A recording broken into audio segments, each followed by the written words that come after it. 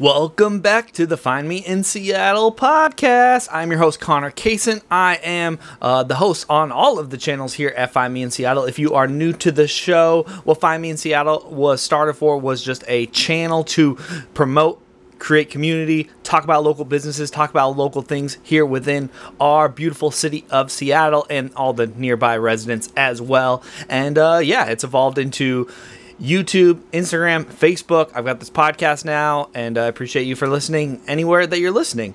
But today is September 11th, 2020, and obviously it's an interesting day. It's a weird day. Uh, it's a day of remembrance about September 11th, 2001 in New York City, and the world just continues to to get weird and get crazy and change and surprise us. And uh, now we're 11 days into September, and the new part of the apocalypse that it seems like we're going through is these wildfires that are ravaging the entire West Coast. But before we talk about the fires, let's go uh, back to 9 11, uh, September 11th.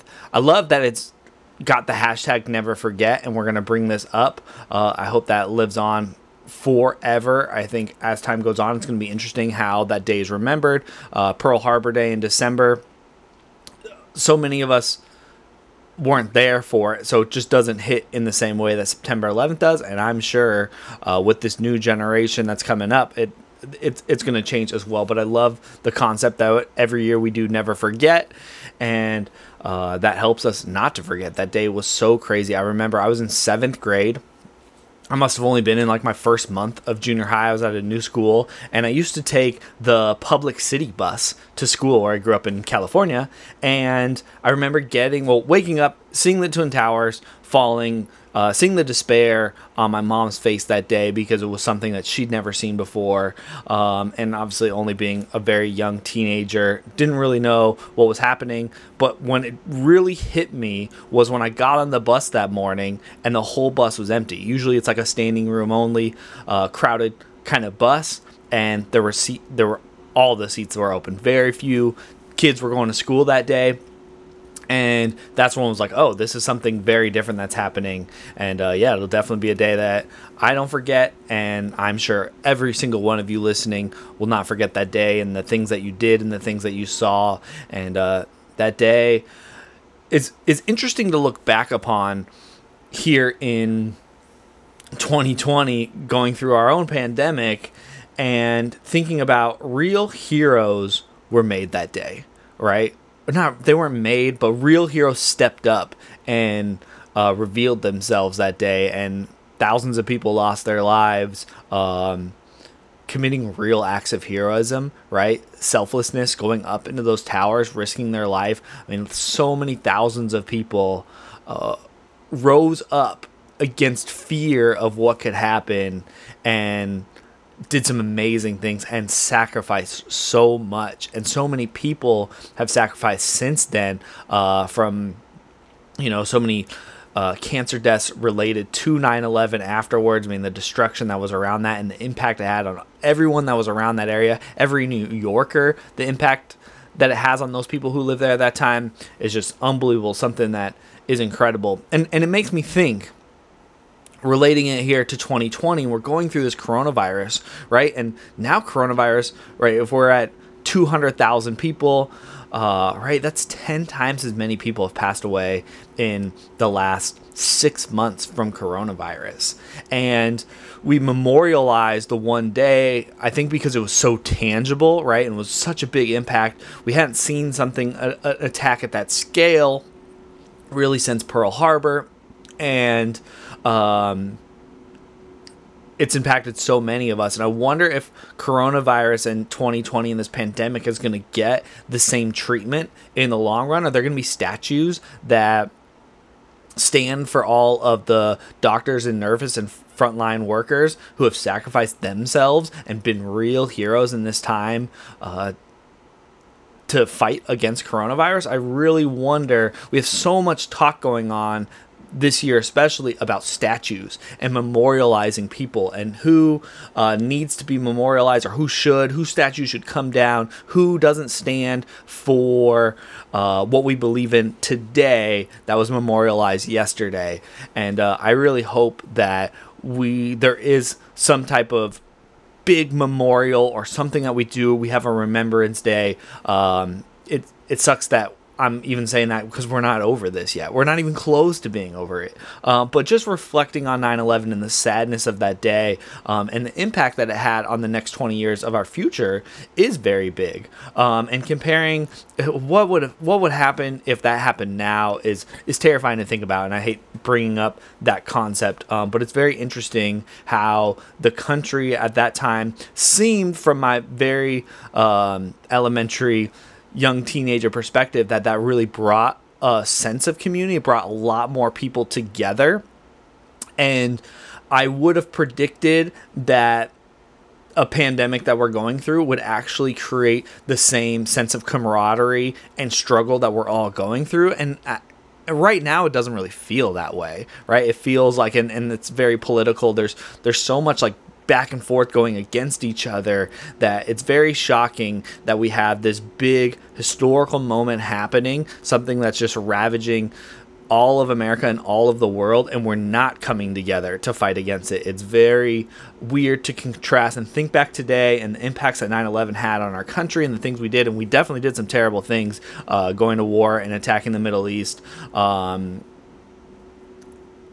right. So, so it's not without our own uh, scars from the decision that we made after that. But it's just a very different situation, and and maybe we can chalk that up to my youthfulness and ignorance about what was actually happening in the country. But uh, it's very interesting that this pandemic has been.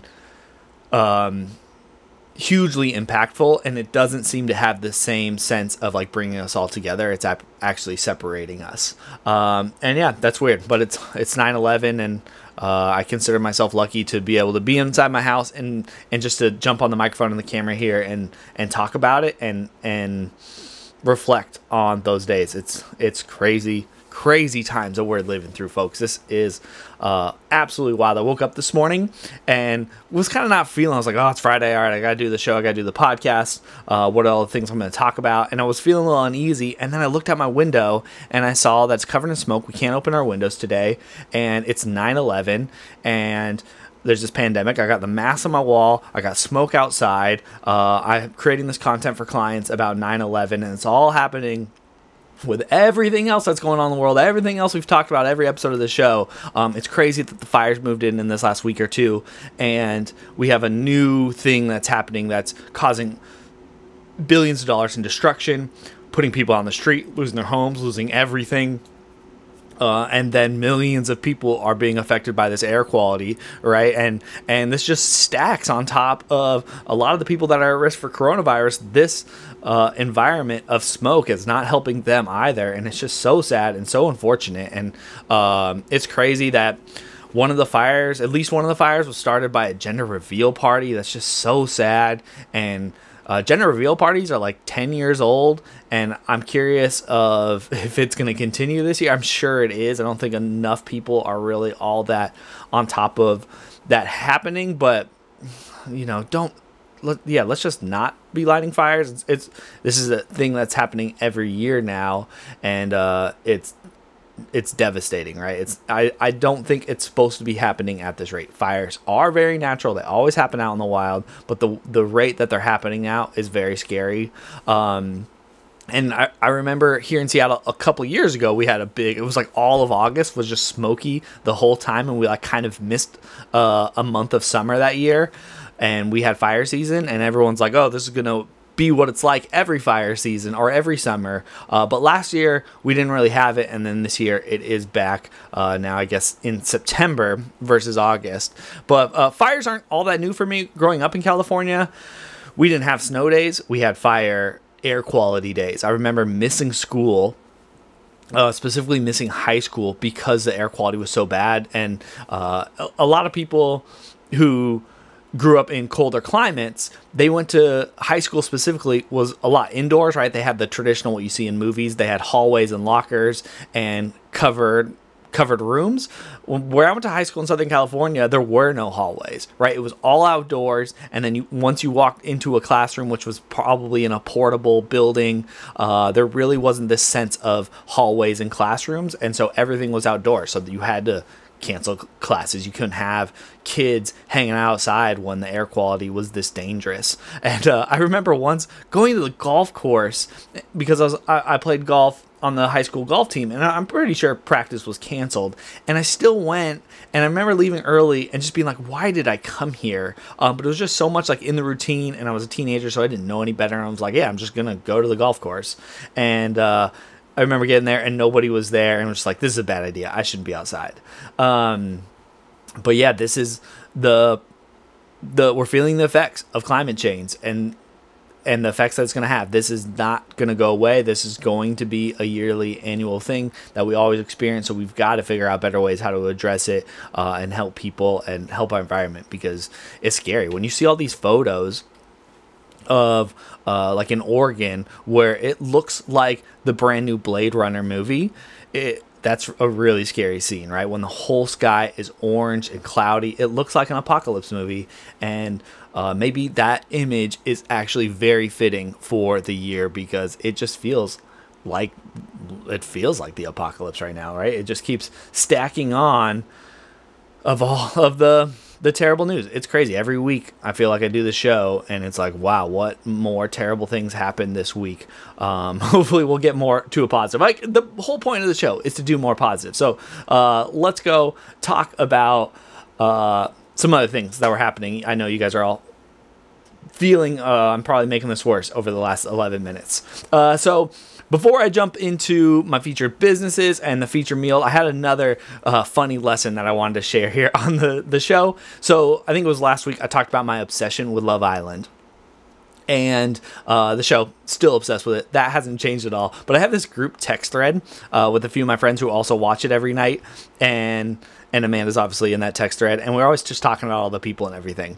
And so i had this text thread. And at the same time i get this text thread uh, or this text from a client of mine and he is asking me about editing videos on iMovie and something that he can't figure out.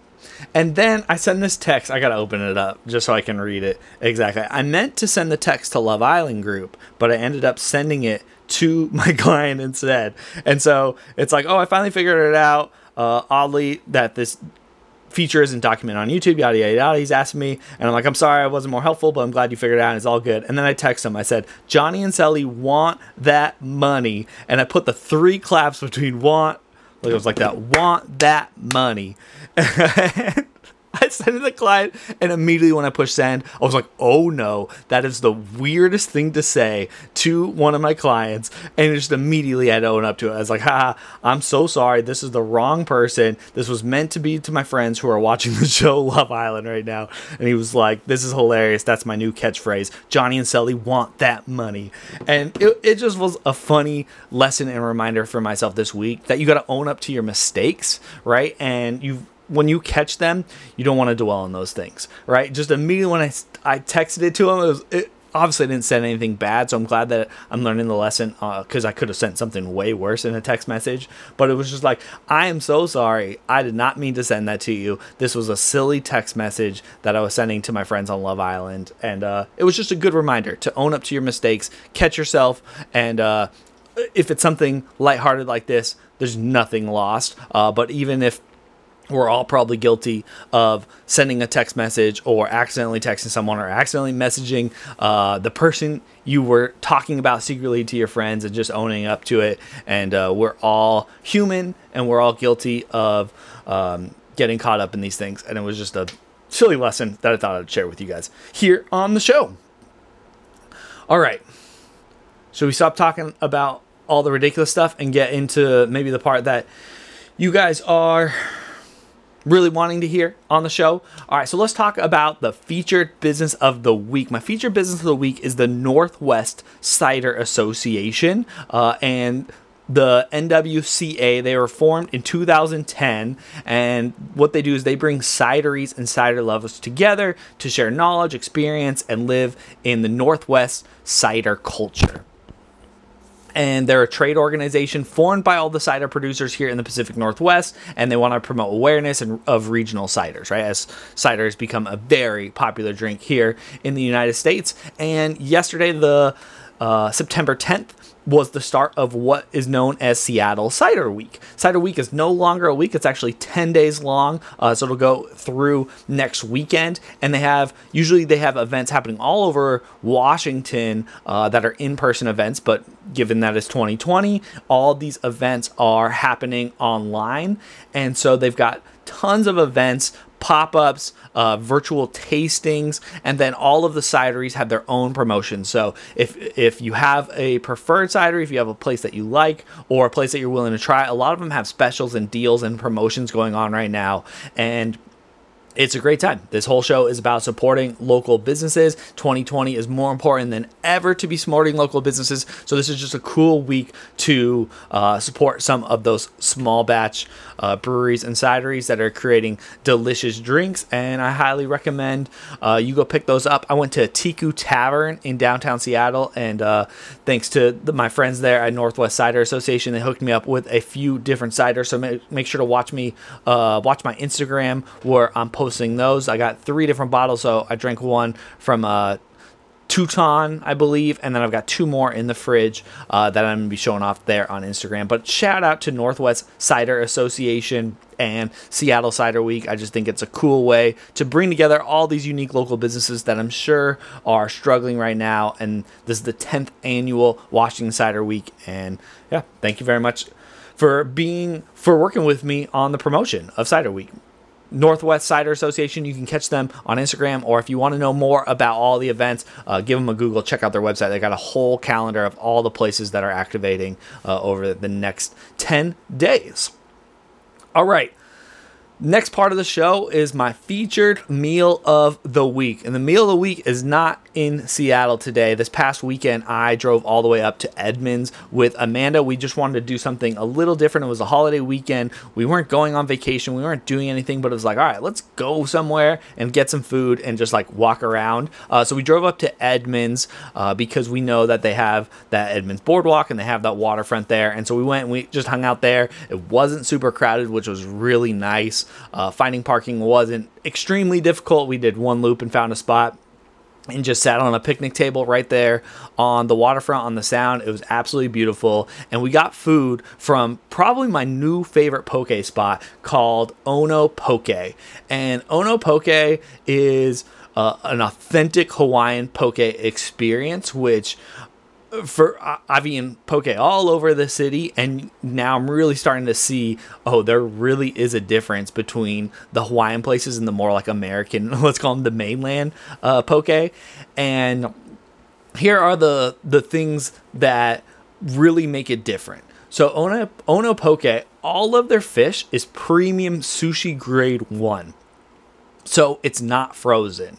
And that's the big thing to know. So many of the poke places here in Seattle, they're serving you fish that has been probably flash frozen sent over here from wherever they whatever distributor they got it from uh, and but the true authentic hawaiian poke restaurants will have it all fresh. It's usually overnighted uh, to get to them. And I learned just looking on their website, uh, which I'm pretty sure, I don't know his name. I'm so sorry that I'm not giving a shout out specifically to the owners, but they just seemed like so friendly. When I walked in there, it was so inviting. Uh, everyone from the person taking my order to uh, preparing the meal was asking questions and just uh, being friendly and you don't see that a lot in these type of restaurants and so that was really nice uh, and th- their website they've got some really good things so uh, poke, which is really important. It's not pokey. Poke is in Hawaiian means to cut into cubes. And um, what else did they say here? Their ahi is fresh from Hawaii. Their salmon is from BC, Canada. Their hamachi and tako are from Japan, and they're all premium sushi grade one. Uh, so it's all locally sourced, fresh seafood, and you can taste the difference. And a lot of times, what you see in other poke restaurants is it's always loaded up with sides, and, and it's got me thinking maybe it's loaded up with sides really to take away to to um, camouflage the frozen fish a little bit because Hawaiian authentic poke is always about the marinated fish. Uh, at other poke spots, especially like the Chipotle style assembly line, what they're gonna do is they're gonna put the raw fish in a bowl and then put sauce in it and like mix it together. If you go to a Hawaiian spot, it's all pre-marinated and pre-sauced, um, right? So they kind of they're gonna have a, a, big batch of whether it's spicy or um, you know, covered covered in whatever. They've always got different flavors. I really love how Ono every day they have different flavors. So if you're going to check them out, make sure you jump on their Facebook page first and go see what flavors they're gonna have. We ended up going there like in the mid afternoon. It must have been like around three o'clock, and they were getting close to sold out. Um, obviously holiday weekend, but I would say go in that earlier lunchtime if you can. Uh, but it was delicious. Ono Poke is definitely become one of my favorite poke restaurants. Uh, I would say probably top two, but I, I don't think I've ever gone to a poke place here in Seattle and really been like, I want to go back there like tomorrow. And if Ono wasn't in Edmonds and I didn't have to drive the 20 miles to get there, I would have been back there tomorrow. Uh, but I kind of feel bad because next time I go to Edmonds, I got all these responses and suggestions of like, here's some other places that you should go try in Edmonds. And I was like, man, I, I want to go back to Ono because it was that damn good. And the sides, I, I, I got off of the tangent on the sides. A lot of times it poke restaurants around the city, you'll see a lot of different sides, and it's, part of that assembly line. There's only you only get one side in your poke meal here at Ono, and so I got the edamame, which was a lot of edamame. Uh, Amanda got the mac salad. And then you can get it with uh, rice or salad. I like to go half and half rice and salad, and absolutely phenomenal, well priced, delicious, and uh, yeah, Ono Poco. Uh, ono Poke. Thank you for becoming one of my favorite poke restaurants in in the entire world. I don't really have a lot of experience with poke in the world, but definitely here in Washington, you are at the top of my list. So thank you very much. Um, all right. That concludes the meal of the week, the featured business of the week. Uh, thank you very much, Ono Poke and Northwest Cider Association. The one other thing that I did, did this week is I've been on the quest to find good places to meet within a social distance uh, environment right? So i have clients all over the city and sometimes i have to meet with them right? And most of the time i don't but there's occasionally uh, things we either videos we have to shoot or things we have to work on papers we need to sign whatever it is and so I had this one client, and I had to have an in-person meeting with them to talk about uh, some different camera dynamics and social media and all that kind of stuff.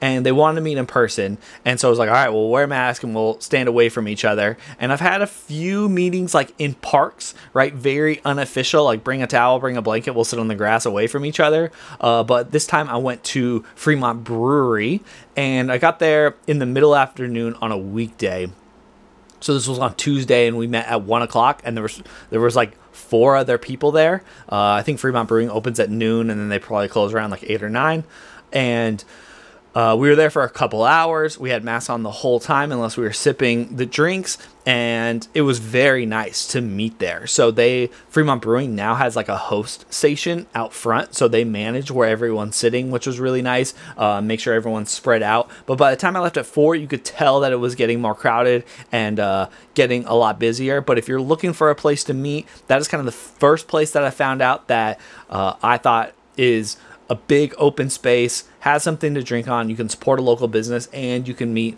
at uh, appropriate social distance or, or at least wear masks and be outside.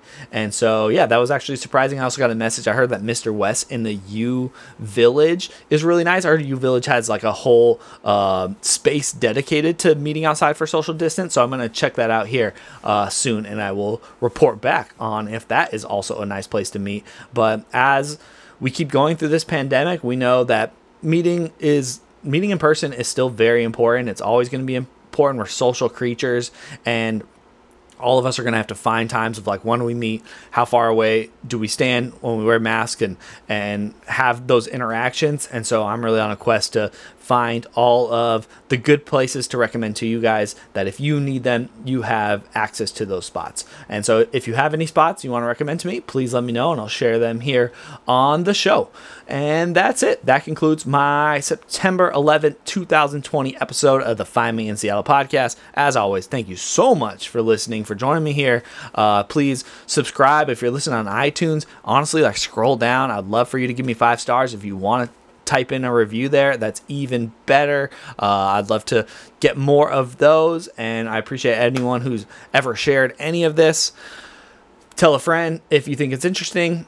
Hit me up on Instagram, Facebook, and YouTube. I appreciate you all there. Thank you every week for joining me here on the podcast. I hope you guys stay safe. Please keep those windows closed. Uh, try to stay cool as well as possible right now. I know with the bad air and the heat, I am broiling here in my apartment right now. So I understand how I'm sure a lot of you are feeling. If you got AC here in Seattle, you are damn lucky and I am jealous right now. But uh, stay safe, wear your mask, wash your hands even more than you are now, and uh, be nice to people, treat them fairly, support your local businesses, spend money, tip them well, and uh, I'm going to try to keep staying positive here enjoy the weekend, and I'll see you next Friday.